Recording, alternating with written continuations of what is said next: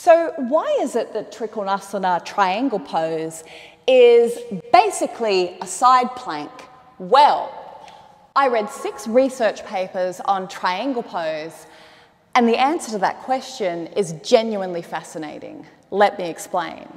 When you come into your triangle pose, you're moving into the frontal plane, which means you are side bending, not forward folding. Gravity tries to move you towards the floor.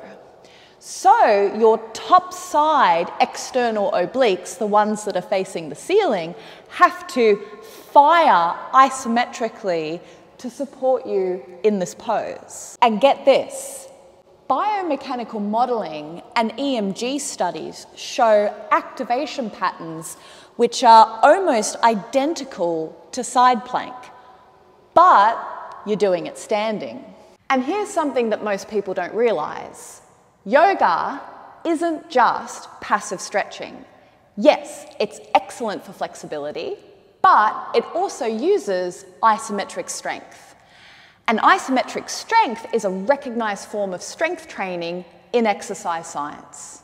Your muscles are producing force but without moving.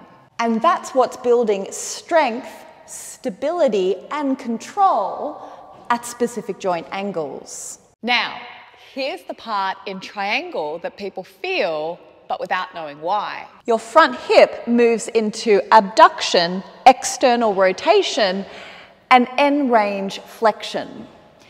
This means that the glute medius is working hard to stabilize the pelvis and prevent the knee from drifting inward.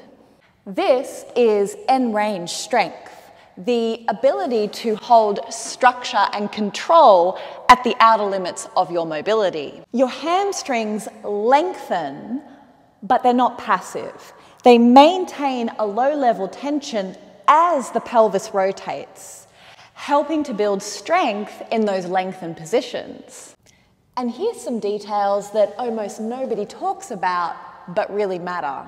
Some biomechanical studies show a slight inward load at the knee in triangle. So, strong hip stabilizers, especially glute medius, are some of the best ways to support the knee joint as you move deeper into this pose. So, yoga, as well as flexibility training, is also a genuine form of strength training as well. Share this with a friend, say hi in the comments, and I'll see you guys next time. Bye.